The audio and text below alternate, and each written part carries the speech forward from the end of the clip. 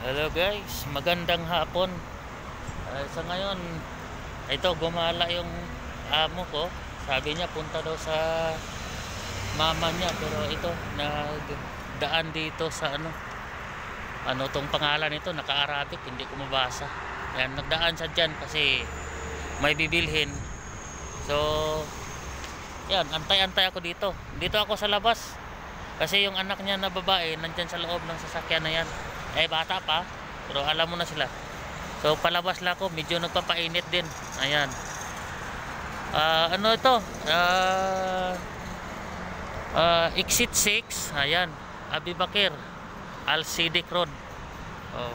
So papunta kami doon sa mama niya.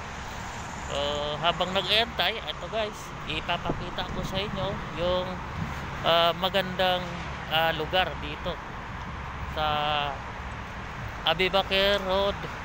Uh, Riyadh Saudi Arabia. Ayan. Main road to sa guys main road. Napakagandang ano ah, marami na ring mga ano guys marami na ring mga tindahan mga mall. Kasi center ng Riyadh to guys. Ayan. O nandyan si madam pumasok.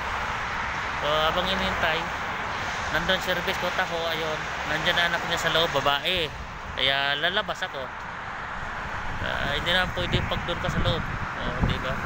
So guys ah maraming salamat sa inyong palaging ah, pagsubaybay sa, ah, sa aking mga video at pag ah, sunod sa channel ko sa pagpasok sa channel ko. Maraming salamat. At sa hindi pa mga subscriber dyan ah, guys ah, please subscribe like, comment, share at huwag kalimutan pindutin ang notification bell para updated ka palagi sa ah, mga videos na i-upload ko araw-araw.